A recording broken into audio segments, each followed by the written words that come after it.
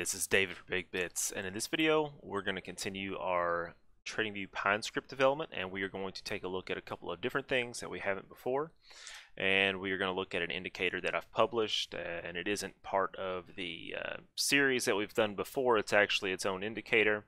It's called Volume Effectiveness, and you can actually find it in the public library There you go, volume effectiveness.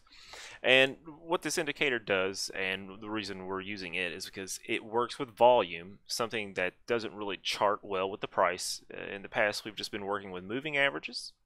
So in this video, we're going to work with volume, which doesn't really uh, overlay well with uh, the price, you can see all of it's down here. It, it kind of looks good for this particular chart, the way we're using the volume, but uh, we're going to be working with negative numbers uh, with our particular volume indicator. So what we're doing is we're actually setting uh, this indicator not to overlay on the main chart, but it's uh, going to be its own kind of chart here. So uh, that's one of the things we're doing, and of course we're working with volume. Now, what is this indicator all about and why did I make this particular indicator? Uh, I made this indicator to help you measure the effect a single unit of volume has on the price. Now, if we uh, zoom in here a bit, see there's a really large candle here. Uh, this is the actual volume on the candle itself. But you can see, compared to the next candle, the effectiveness of that volume is much higher. Uh, that's because the price increased more with less volume than on the next candle. I hope that makes sense. Uh, essentially, for every Bitcoin on this particular chart, the Bitcoin USD chart, for every Bitcoin that was traded with this amount of volume, this is the percentage of price it was able to uh, increase uh, the price on the daily candle from open to close. So from our open price here considering all of the volume throughout the day, this is where it ended up, and the effect, of course, is that change divided by the volume. And why does that matter?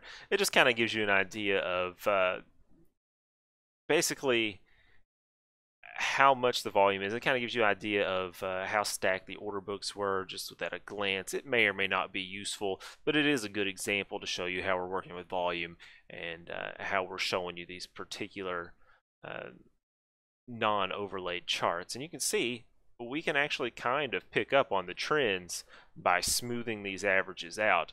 So it's uh, it sounds like it may or may not be useful when you're just describing it, but when you look at the chart, uh, we're actually able to plot it out to where it's actually kind of useful, and you can kind of see that it uh, aligns pretty well with the price movement, and you can uh, take it and use it as part of whatever suite of indicators you have to try and figure that out for yourself. But as part of the tutorial, let's go ahead and get into the actual script here. Uh, we have all of our other things that we, we usually have in the other videos. Um, the first thing you're going to notice different really is we have to set the overlay equal to false. This what this is what makes it its own little chart here instead of uh, overlaying on top of this particular chart, the main chart. Uh, I've also set the precision because uh, although with um, Bitcoin on Coinbase, these percentages are just fine uh, at you know four or five, but other coins, other trading symbols, the percentage movement on price uh, per volume could be much much lower. So that's something to keep in mind. But since the chart is relative, it doesn't really matter uh, what the scale is over here. It could be eight, nine, ten zeros or more in percentage points, but when you're looking at them comparatively, you can still kind of get an idea of what's going on. Now we've added a few features in here. Let's go ahead, ahead and take a look at what we've done. We've made it to where we can hide or show the bars. So now you can just kind of see the trend and we can hide or show the smoothed uh, moving average. We can also adjust the moving average period, the type of moving average, and we can also set this to where it's going to be an absolute effectiveness. Now that kind of just disregards whether it's a red candle or a green candle, and all of the values are positive. This is how much effect the volume had just in general, uh, regardless of direction of the price. I'm going to turn that off. I don't really care for that too much. And we're going to hit OK. Now, I've already covered how to do inputs and everything like that. So if you don't know how to do that, go back to the other videos. Uh, I did create this section that pretty much does all the logic for us for calculating the effective volume. I've already told you uh, we are going to use the close price divided by the open. And then we're going to subtract 1 from that and then multiply it by 100 to get the uh, percentage change. Okay, so this right here, just so you clear, this is calculating the percentage change for the day.